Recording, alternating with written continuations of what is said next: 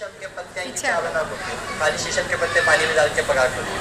Liver का problem है पेट खराब है भूमि आमला के पत्ते सर्च करो घरों के आसपास रहते भूमि आमला के पत्ते काढ़े बना के पियो इंशाल्लाह शिफा हो जाएगा। किसी को हार्ट का मसला है सांस फूल रही और जो है छाती का मसला है अर्जुन की छाल। दवासास में मिलता है इंशाल्लाह अर्जुन की छाल। उसका काढ़ा बना के पियो इंशाल्लाह। उससे आपका वो मसला हल हो जाता है। किडनी का मसला है स्टोन्स है मुंदी का जूस पियो। स्टोन चलेगा ऐसे खाली चार, पाँच खान, पान में इंशाल्लाह शिफा हो जाता है। अब तो इतना आता पाँव झाड़ने की ज़रूरत ही नहीं है इंशाल्लाह। बर्दाना ताकत के वास्ते कितने के डॉक्टर के पास जाते हैं, हज़ारों के लाखों के पैसे खर्च कर देते हैं। खाली उजली प्याज का जूस बना को पिए तो बस आप।